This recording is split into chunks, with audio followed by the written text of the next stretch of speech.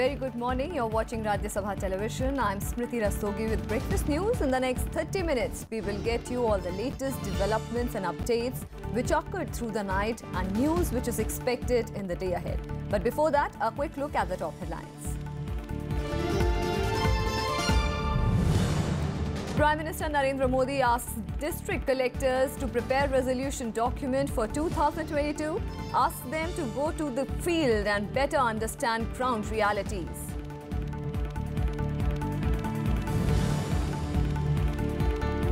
Vice President Mohammad Hamid Ansari's last day in office, in an exclusive interview to Rajya Sabha Television, talks about issues including Kashmir, triple talaq and plurality.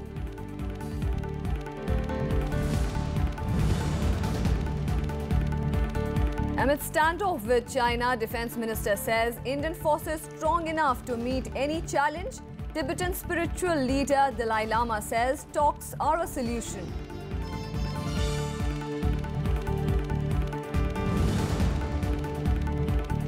After Rajya Sabha results in Gujarat, BJP and Congress gear up for the state polls. Amit Shah sets mission 150. Ahmed Patel says Congress will re-emerge.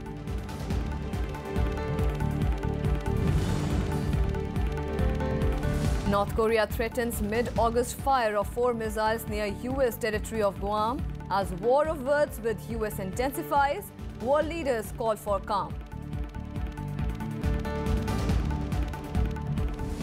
Prime Minister Narendra Modi on Wednesday addressed district collectors across the country through video conferencing on the theme of New India Manthan. The interaction marked the occasion of 75th anniversary of the Quit India movement. During the interaction, the Prime Minister asked the collectors to prepare a vision document for their district before 15th of August. The resolution document, he said, should include those 10 or 15 objectives which they feel should be achieved by 2022. Prime Minister also urged collectors to move beyond files and go to the field to understand the ground realities. On GST, the Prime Minister asked collectors to explain to traders in their district how it is a good and simple tax. The Prime Minister recalled Mahatma Gandhi's message that the ultimate goal of our governance should be to improve the lives of the poorest of poor. Rajya Sabha members on Wednesday unanimously resolved to rededicate themselves for building a self-reliant, inclusive, secular and democratic India on the occasion of 75th anniversary of the Quit India movement. The House also recalled the sacrifices made by numerous Indians who defied the brutal repression of British forces and shook the foundation of the British rule. Here is a report. Rajya Sabha Chairman Muhammad Hamid Ansari moved a resolution on 75 years of the Quit India movement in the House on Wednesday. Members pledged to uphold and safeguard the values of an ideal India. This House recalls that 75 years ago, Mahatma Gandhi called for the British to quit India and gave the clarion call, do or die, to the Indian people to end the British rule. Observes on the 75th anniversary of the Quit India movement that it is important to remember the heroic struggle of the Indian people, students, peasants, women, workers, and government officials who defied the brutal oppression of the British Raj to launch massed satyagraha that shook the very foundations of the British rule. Acknowledges that this is also an occasion to recall with gratitude the sacrifices of millions of our people and salute the memory of thousands of Indians who gave their lives for the freedom of India. And on this day solemnly takes a pledge to uphold and safeguard the values and ideals of the freedom movement and rededicate ourselves to build an India that is strong, self-reliant, inclusive, secular and democratic. The Quit India movement was launched at the Bombay session of the All India Congress Committee by Mahatma Gandhi on the 8th of August 1942 during the Second World War. It demanded an end to British rule in India. Kriti Mishra's report for Rajya Sabha TV. Zero hour and question hour was suspended in the Rajya Sabha on Wednesday to hold a special discussion to mark the 75th anniversary of the Quit India movement. Members recalled the events of 1942, hearing the leaders who led the movement. Tributes were also paid to the heroes of the struggle who made the supreme sacrifice for the country. Finance Minister Arun Jaitley initiated a special debate in Rajya Sabha on Wednesday, marking the 75th anniversary of the Quit India movement launched by Mahatma Gandhi in 1942. Jaitley said that India has faced many challenges over decades, but with each challenge, the country has emerged stronger. He called on citizens to commit to make India a strong, just, and economically progressive country, also stressing on the need to fight the global menace of terrorism. इस 75 साल की अवधि काल में हमने देखा कि विश्व में कई ऐसे देश थे जहाँ विभिन्न प्रकार के राजनीतिक संकट आए। चुनौतियाँ हमारे देश के सामने भी आई, लेकिन आज गर्व के साथ हम ये कह सकते हैं कि हर चुनौती के साथ ये देश और मज़बूत होता गया। आज का ये दिन इतिहास का एक प्रतिनिधि है। और इसलिए हम सब इस देश को मज़बूत न्याय संगत और एक प्रगतिशील आर्थिक दृष्टि से बनाएँ, इसके लिए आज प्रण लेने का एक समय है। मैं आपका, माननीय सभापति जी का और सभी सदस्यों का आभारी हूँ कि सबने आज सहमति व्यक्त की कि इस दिन हम प्रस्तावना करें कि देश को इस दिशा के अंदर लेकर जाएँ। मैं स्वयं को भी इस भावना के साथ पूर्ण रूप से जोड़ता हूँ। Leader of opposition Ghulam Nabi Azad recall the events related to the quit India movement mentioning how Hindu Muslim unity made the movement successful क्योंकि एक सबसे बड़ी बात क्विट इंडिया मूवमेंट की हुई थी कि कोई दंगा क्रिमिनल दंगा नहीं हुआ। क्योंकि महात्मा गांधी और पंडित जवाहरलाल नेहरू दोनों ने 8 अगस्त को अपने भाषणों में कहा था कि एक हिंदू और मुसलमान मिलके रहेंगे तो ये हम आज़ादी हासिल करके रहेंगे। और मैं बधाई देता हूँ उस वक्त के करोड़ों हिंदू और मुसलमानों ने कि इस पूरे संघर्ष में तीन साल के बाद छोड़ा गया, उनको 1945 तक की लड़ाई लड़ी गई गई कोई हिंदू मुसलमान दंगा हज़ारों लोग मारे गए लाखों लोग जेल में गए लेकिन एक जगह भी हिंदू और मुसलमान दंगा नहीं Samajwadi Party member Ram Gopal Yadav spoke about the contribution of socialist leaders like Ram Manohar Lohia and Jay Prakash Narayan, while JDU's Sharad Yadav stressed on the need to learn from history.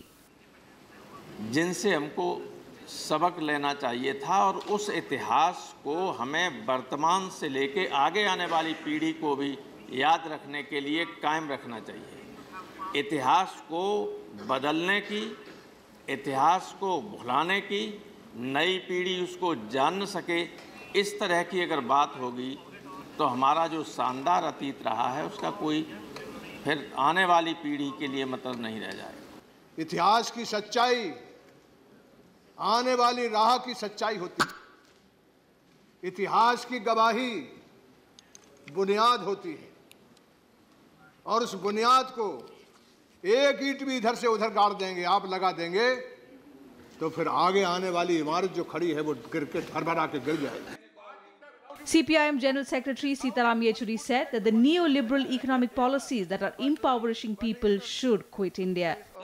Please. If there's Now anything continue. that must quit India today on its 75th anniversary, it is these neoliberal economic policies that are impoverishing the mass of my people. It is this communalism that is dividing my country and it is disuniting our people in the struggle to create a better India. Okay. NCP's Majid Memon said the day must be celebrated as a national festival just like Independence Day. हमें चाहिए हमें चाहिए कि आवास की व्यवस्था करें हमें चाहिए कि हम मुलाजमत की व्यवस्था करें। हमें चाहिए कि गरीब और अमीर के फासलों को कम करें। हमें चाहिए कि हम अत्याचार मिटाएँ। हमें चाहिए कि हम हेटरेट को मिटाएँ। ये नफरत की के बड़े बड़े पहाड़ खड़े किए जा रहे हैं। आपस में लोगों को बांटने की कोशिश की। ये कैसा फ्रीडम है?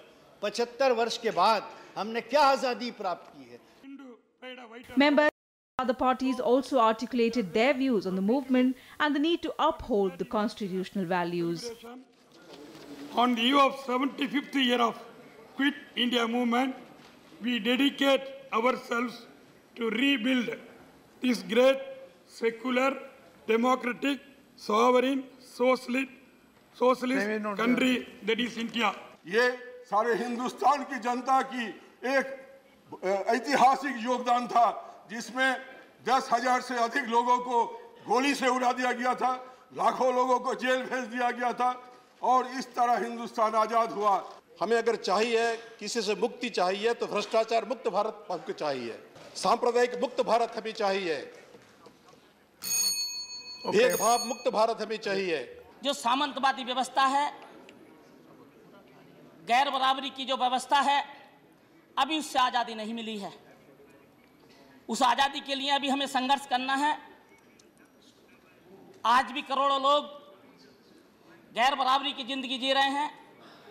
सामंतवादी व्यवस्था के तहत आज करोड़ों दलित शोषित समाज के लोग स्वतंत्र नहीं है। The only real prison is fear and the only real freedom is freedom from fear and and if are women if are people if are Dalit if the underprivileged and the backward communities in, uh, and the minorities are not fear, freed from fear of the future, then there is nothing to feel proud about. इस आंदोलन में अहिंसा ने काम किया है लेकिन इस देश में ऐसे बहुत से क्रांतिकारी थे जिसने बम बनाए जिसने ब्रिटिश पार्लियामेंट पर बम फेंके हैं जिसने बंदूकें उठाई है हम उनको भी याद करना चाहिए इसीलिए ब्रिटिशों के मन में दहशत फैल okay. गई थी I feel we should all reflect speeches we can make but collectively today we should not indulge in any blame game but reflect how do we achieve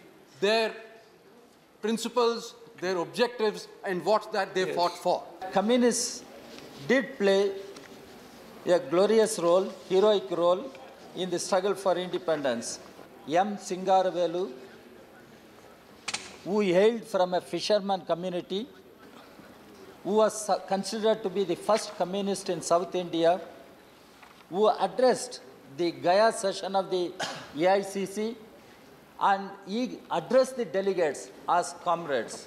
It is not that communists only gave Purna Swarajya as slogan. They also address the congressmen as comrades and we all should fight for the independence and upliftment of the poor people in the country. The House also observed silence in the memory of the martyrs. With Kriti Mishra, Bureau Report, Rajya Sabha TV. And to mark the anniversary, Lok Sabha unanimously passed a resolution pledging to work tirelessly in the next five years to build a nation as envisioned by Mahatma Gandhi and other freedom fighters. Prime Minister Narendra Modi and Congress President Sonia Gandhi were among those who shared their views. On the 75th anniversary of the Quit India movement, Prime Minister Narendra Modi addressed the Lok Sabha on Wednesday. Terming poverty, lack of education, and malnutrition as the greatest challenges, Prime Minister Modi called for special initiatives to end such ills in the next five years. हमारे भी लालन पालन विचारधारा अलग अलग रही होगी लेकिन ये समय की मांग है ये समय की मांग है कि हम कुछ बिंदुओं से देश को मुक्त कराने के लिए संकल्प का अवसर लेकर के चले चाहे गरीबी हो भुखमरी हो अशिक्षा हो अंधश्रद्धा हो The Prime Minister's speech also focused on corruption that he said has adversely impacted development. करो या मरो उस समय का सूत्र था करेंगे या मरेंगे आज 2017 में 2022 को भारत कैसा हो संकल्प लेकर के अगर चलना है तो हम लोगों को भी। हम सब मिलकर के देश से भ्रष्टाचार दूर करेंगे और करके रहेंगे।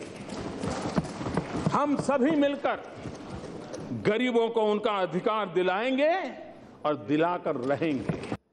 Congress President Sonia Gandhi also spoke on the occasion, taking a veiled jibe at the RSS. She said some organizations had opposed the Quit India movement and played no role in the freedom movement.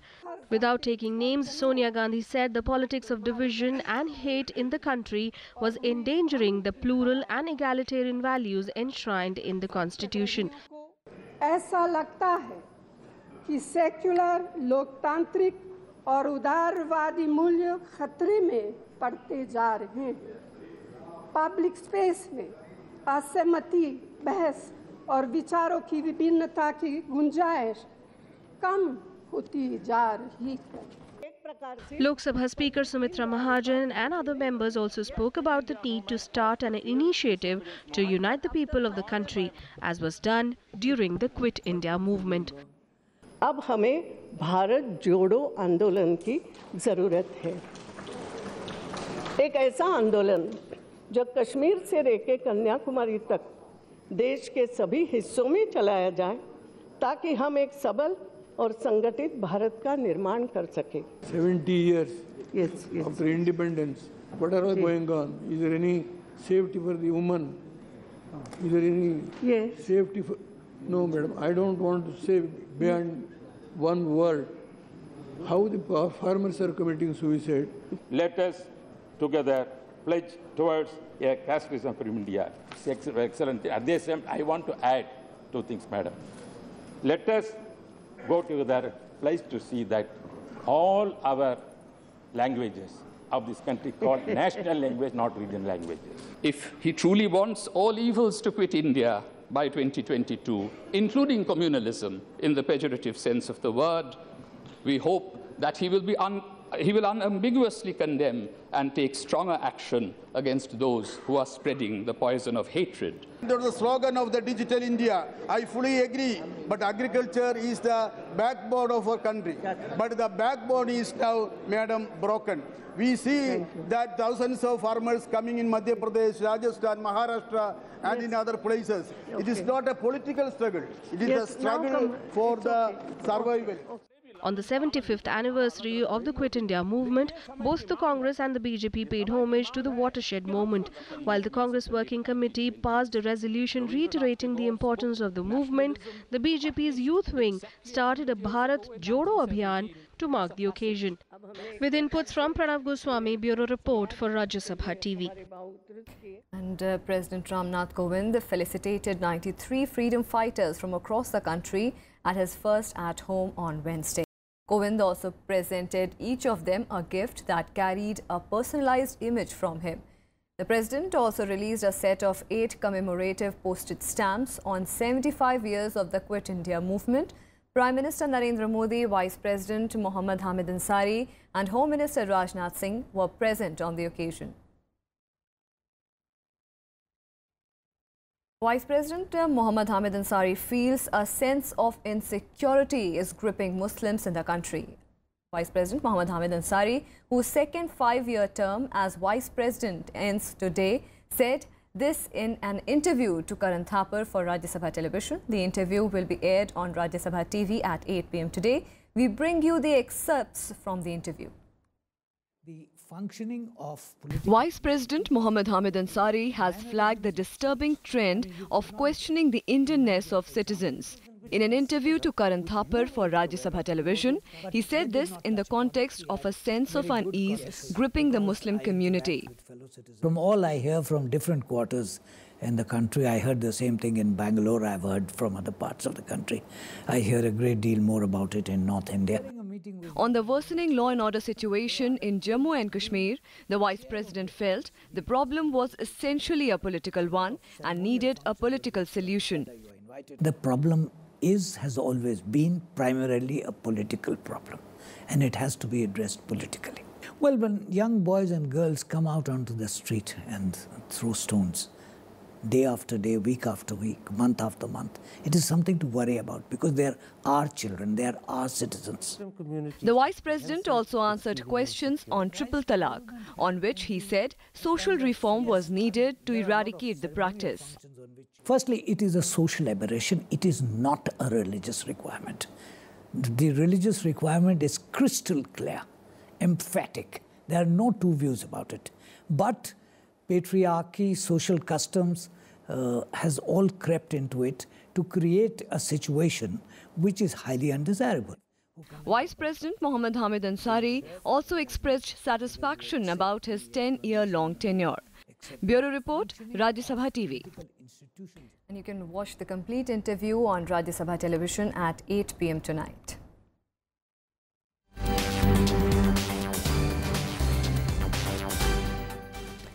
Moving on, after the Rajya Sabha poll results, both the BJP and Congress are now gearing up for the state elections in Gujarat. BJP chief Amit Shah asked the party workers to work towards achieving the target of winning 150 of the total 182 seats in Gujarat Assembly in the upcoming polls. He said Mission 150 would ensure that BJP wins three Rajya Sabha seats in the state next time. In the recently concluded Rajya Sabha polls, while the BJP won two, the Congress won the closely contested seat in which Ahmed Patel won. Amit Shah resigned as state MLA on Wednesday and exhorted party workers during a felicitation ceremony held for him and Smriti Irani. Meanwhile, Congress leader Ahmed Patel, who retained his Rajya Sabha seat, said his victory has come as a boost to the party workers and set an aim for 125 seats in the assembly polls due later this year.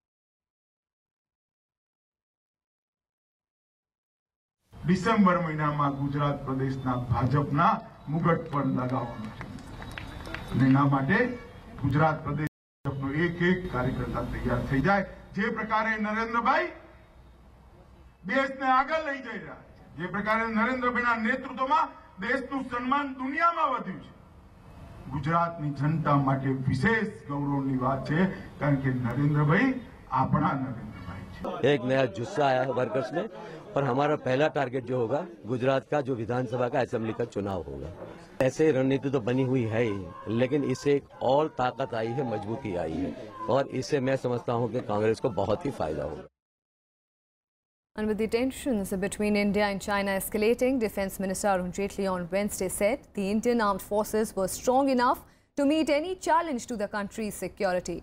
Speaking in the Rajya Sabha, Jaitley said India had learnt a lesson from the 1962 war with China, adding that the armed forces were made stronger in 1965 and 1971 wars. China, meanwhile, once again asked New Delhi to withdraw troops from the border area. Chinese Foreign Ministry on Wednesday said that 53 Indian soldiers and a bulldozer were re still remaining in the border area. India and China have been locked in a face-off in the Dokala area of Sikkim for 50 days after Indian troops stopped the Chinese army from building a road in the area. Meanwhile, Tibetan spiritual leader Dalai Lama described the border standoff between the two countries as something not very serious, asserting that any problem has to be resolved through talks. He said that the theme of 21st century should be dialogue. The Dalai Lama also called on the two countries to invoke the spirit of Hindi Chini Bhai Bhai, stressing that the two neighbors have to live side by side in peace. Hindi Chini bye bye. That's the only way. Uh, big, big two nation. You see, neither one have the ability to eliminate other one or defeat other one. So you have to live side by side. So, for temporary, use some harsh word and a few of sort of problem. But I don't think, I don't think much serious. News from the international front, world leaders have appealed for calm as tensions flare in US and North Korea rift. This came after US President Donald Trump's warning that the US is willing to impose unprecedented fire and fury on North Korea unless it stops threatening the United States with a nuclear attack. Pyongyang has responded to Trump's warning, saying it was considering a, mili- a missile strike on the US Pacific territory of Guam and that the plan would be ready by the mid of August. will be met with fire, fury, and frankly, power, the likes of which this world has never seen before. Tensions escalating in the Korean peninsula after Trump's statement. This after media reports suggested that Pyongyang will soon be ready with nuclear weapons capable of hitting the United States. Following Trump's warning, North Korea threatened strikes near the US territory of Guam and on Wednesday further said that it will be ready to fire four missiles there by mid August if the plan was approved by Kim Jong un. While Trump's warning was denounced as irresponsible by many world leaders, US State Department defended it. Look, the president is sending a strong message to North Korea in the kind of language that North Korea understands. The secretary talked in the past about how the president is a very effective spokesman. People listen to him, and those were the president's words, sending a message loud and clear to North Korea. Global leaders called for calm and a return to negotiations, urging both Trump and Kim Jong un to avoid any words or actions that might cause further tensions. United Nations Secretary General also said that he was deeply troubled by the increase in confrontational rhetoric. Uh, obviously, the Secretary General uh, remains extremely concerned uh, by the ongoing uh, the ongoing situation, and he's troubled uh, by the increase in confrontational rhetoric uh, that we've seen. The Security Council passed a resolution uh, unanimously over the weekend, and we obviously reiterate our welcome uh, to that commitment to a peaceful and diplomatic and political solution to the situation. Uh, that our strong wish is that the United States keeps calm and refrain from any any moves that uh, would uh, provoke uh, another party into actions that might be dangerous. More than a dozen demonstrators gathered in front of the White House on Wednesday, calling on President Trump to launch talks with North Korea as a way to avoid a nuclear confrontation. Apart from international calls for restraint, Trump had to face ire from senators and congressmen as well, who described Trump's behavior as reckless. It certainly doesn't help with our discussion with North Korea. It raises doubt in China and in our allies' minds, uh, South Korea and Japan, about what our policy really is. And for South Korea in particular, but also Japan, they're right in the neighborhood of, of where the backlash would come if, if we chose to take some kind of military strike because we, we decide that we can't tolerate this vulnerability. Meanwhile, in North Korea, a massive rally was held in Pyongyang to protest against the UN's latest sanctions. North Korea, which has tested nuclear devices five times, launched two intercontinental ballistic missiles in July, claiming that it now had the capability to hit the mainland United States. Bureau Report, Rajya Sabha TV.